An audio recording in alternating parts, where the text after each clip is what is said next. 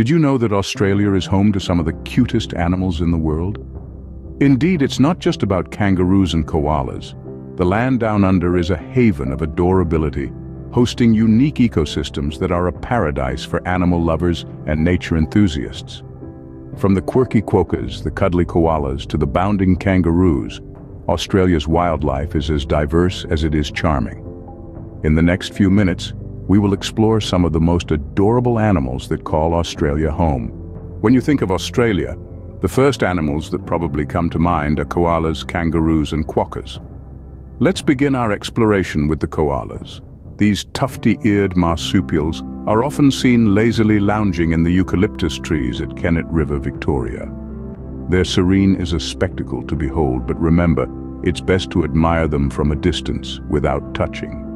Next, we introduce the kangaroos.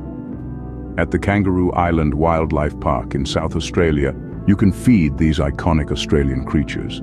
For a mere three Australian dollars, you can grab a bag of kangaroo-friendly food and get up close with the unique subspecies known as the Kangaroo Island kangaroo.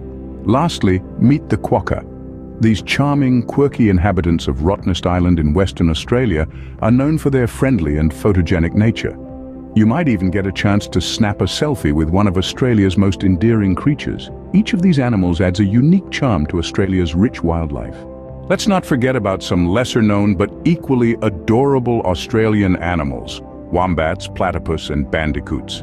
Beginning our journey with wombats, these chunky nocturnal critters are an endearing sight, particularly in the moonlit nights of the beautiful coastal region of Bay of Fires, Tasmania. Who knows, you might even find them as your camping buddies. Following the wombats, we have the platypus, a captivating mix of mammal and bird. Their duck-like and webbed feet make them one of the cutest sights to watch. To catch a glimpse of these secretive creatures, a visit to Eungella National Park, Queensland is a must, as this is their natural home. Finally, we arrive at the lovable bandicoots, little marsupials that also come alive at night.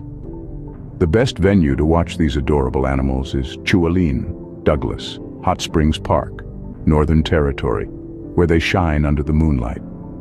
These animals might not have the fame of kangaroos or koalas, but they're definitely some of the cutest additions to the unique charm of Australian wildlife.